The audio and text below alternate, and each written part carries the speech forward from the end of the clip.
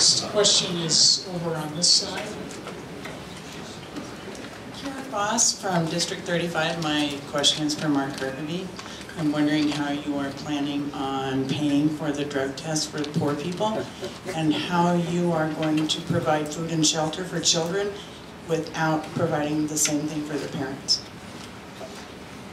Question is for Representative Kirkeby on drug testing for benefits. I believe.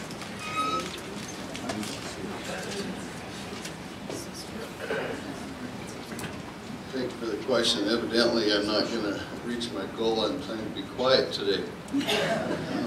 The bill, I do appreciate the, the question. I think having the opportunity or the ability to ask or possibly demand that any tax-supported welfare recipients are going to be drug- drug-free certainly is controversial. The draft form of this bill is still sitting in my desk.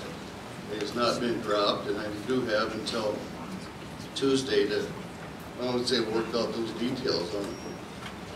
The funding mechanism is not currently addressed.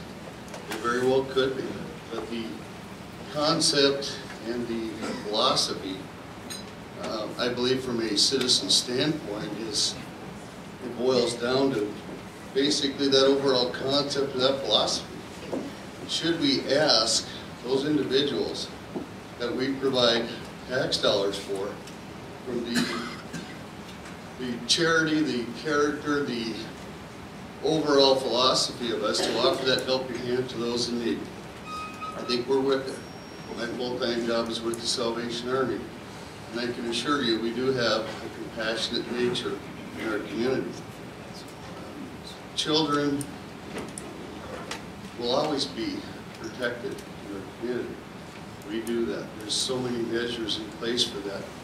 But hopefully next weekend, when the bill is actually submitted, I think the real the debate and discussion will begin on that. But I do appreciate the question.